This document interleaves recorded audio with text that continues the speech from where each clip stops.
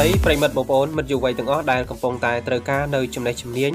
ទាក់ទងទៅនឹងការរៀនដេររៀនផុងឬក៏ជំនាញខាងផ្នែកជួសជុលម៉ាស៊ីនដេរនៅពេលបច្ចុប្បន្ននេះយើងឃើញថាវិស័យកាត់ដេរមាននៅទាំងភ្នំពេញមាននៅតាមបណ្ដាខេត្តអញ្ចឹងតម្រូវការរោងចក្របើសិនបើយើងអត់ចេះចំណេះជំនាញទេពិបាកក្នុងការរកការងារធ្វើមួយវិញទៀតបើសិនបើយើងទៅធ្វើតេស្តគឺមិនងាយនឹងគេយកទេហើយបើសិនតែគេយកក៏គេនឹងងាយនឹងប្រឈប់យ៉ាងដែរមានន័យថាការងារ បើសិនបើអត់មានជំនាញគឺពិបាកណាស់ក្នុងការរកការងារធ្វើដើម្បីផ្ដល់ឱកាសឲ្យបងប្អូនតកតងទៅនឹងការយកជំនាញទៅធ្វើការងារឲ្យមានប្រសិទ្ធភាពនោះបងប្អូនចំណាយពេលវេលាត្រឹមតែ2ថ្ងៃ3ថ្ងៃឬក៏មួយសប្តាហ៍យ៉ាងយូរបងប្អូនអាចទៅធ្វើតេស្តយ៉ាងមានប្រសិទ្ធភាពឱកាសល្អមួយទៀតបើសិនបើបងប្អូនអឺទៅធ្វើតេស្តមិនជាប់សាលាផ្ដល់ឱកាសឲ្យបងប្អូនមករៀនសារជាថ្មីម្ដងទៀតដោយមិនមានការបង់ប្រាក់នោះទេ បាទហើយអ្វីដែលកាន់តែពិសេសជាងនេះទៅទៀតនោះគឺពេលដែលបងប្អូនបញ្ចប់ការសិក្សាពេលដែលយើងទៅធ្វើ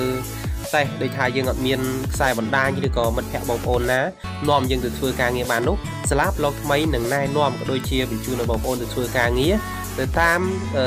ហៅរោងចក្រឬក៏សិប្បកម្មដែលត្រូវការជ្រើសដែលជាដៃគូសហការរបស់សាលាប្លុកថ្មីឲ្យជាប់យ៉ាងមានប្រសិទ្ធភាព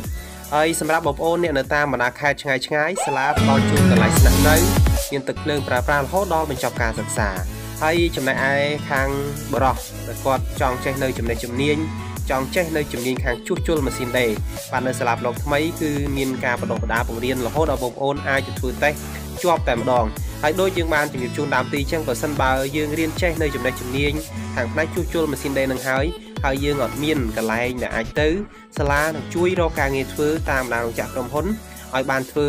យ៉ាងមានប្រសិទ្ធភាពដូចគ្នាផងដែរ អញ្ចឹងសម្រាប់ផ្នែកជាងជួសជុលម៉ាស៊ីនដេរសម្រាប់អ្នកនៅតាមបណ្ដាខេត្តគឺសាលាផ្ដល់ជូនកន្លែងស្នាក់នៅទឹកភ្លើងប្រើប្រាស់និងអាហារហូបចុកចំនួន2ពេលរហូតដល់បញ្ចប់ការសិក្សា